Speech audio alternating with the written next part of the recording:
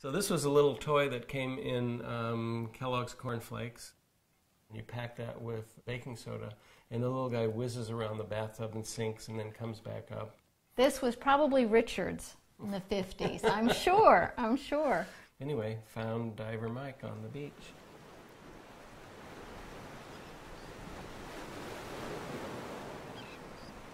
I'm Judith Selby Lang. And I'm Richard Lang.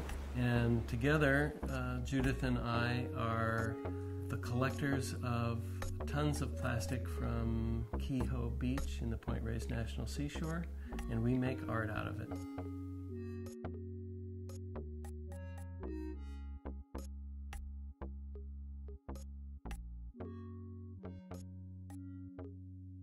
We really like to say that this is a love story. From our first date at Kehoe Beach, a whole life has unfolded. We decided that we were going to go to the beach and go as often as we could and see what we could collect in one year. We started specializing in one item, which was um, uh, juice lid caps, because they're colorful and they're ubiquitous. And we thought, well, let's make a trophy of our days at the beach, so we made a trophy fish. In that one year, we collected at least two tons, 4,000 pounds of plastic. And right around that time, the information about the North Pacific Gyre started coming through. It's an area that some describe as the size of Texas, some say twice the size of Brazil. The ocean currents conspire to create a giant swirl, and the plastic is collected there. Doesn't disintegrate, it degrades from the sun and it gets smaller and smaller and smaller. So, what the gyre really is, is a giant soup of these little plastic particles.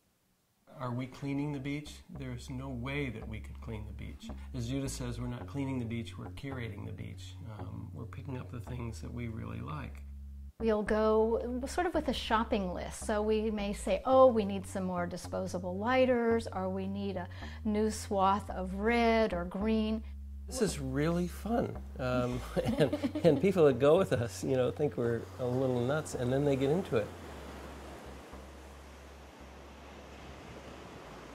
We really limited ourselves to this one little kilometer of beach because, like a holographic pinpoint, we want to talk about this one little place as the, the place that stands as a marker for the whole planet.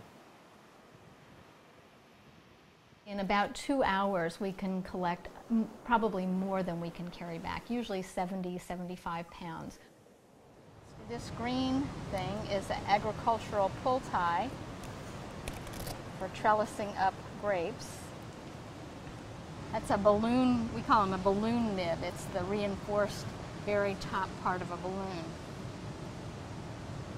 So, some real treasures here. I'm very happy. and look at how beautifully color coordinated they are. We could lose the yellow once you grab the yellow. Everything else here, look at there. Is that a great, great palette of things? I like the yellow. Okay, you like the yellows a little? A little, uh, little you gotta have a highlight. little Oh, have a contrast. little contrast there. Oh, Yeah. That's pretty good. We bring it back, we wash it, and then begin a sorting process. And that is, to me, that's one of the great pleasures. Exercises in pattern recognition. I mean, these are some of the categories. These hat bands. Uh, bubble blowers, We find lots of astroturf. This is an oil truck. perfect. Perfect. yeah. And we got a book out of the library on plastic from the 40s and 50s when plastic really began its heyday. And there is a picture of this little plastic truck um, in perfect, pristine condition, and it was last made in 1949. Oh my goodness, I'm so happy that the styles have changed. I don't know too many people who use these anymore, but they're still washing up. It's just pure fun to find a lighter that's come all the way from Korea. One of the things we started finding um, uh, these little red things. We didn't know what they were at first, and then we found another one, another one, another one, and what the hell are these things? And my daughter said, "Well, dummy, they're um, they're the little cheese spreaders for Kraft Handy Snack." So we've been in a dialogue with Kraft Food about these things because the idea is that plastic in itself is not evil But there is an evil, and the evil is single use plastic. You know, to scrape up your cheese, put it on your little cracker, and then toss it away. I mean, it's just a ridiculous use of material.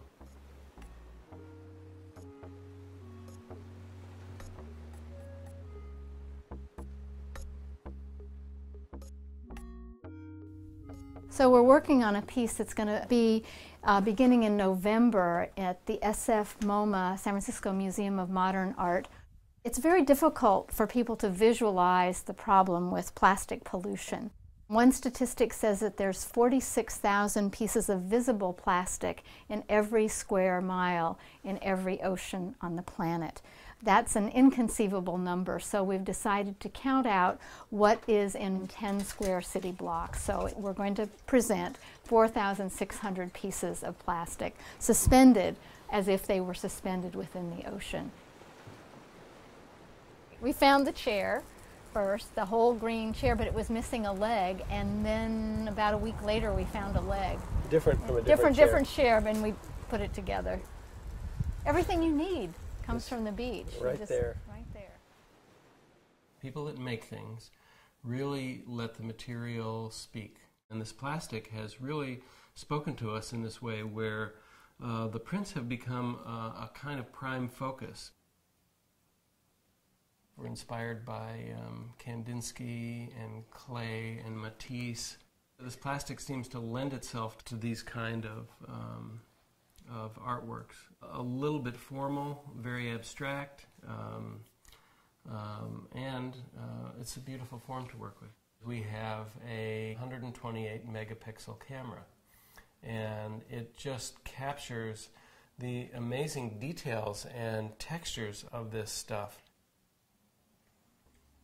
People comment, "Oh, your work is so beautiful," and why not? Why wouldn't we want to make something incredibly beautiful and enticing?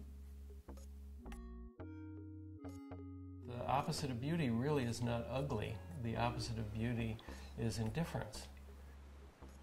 And we're trying not to be indifferent about this and about the world.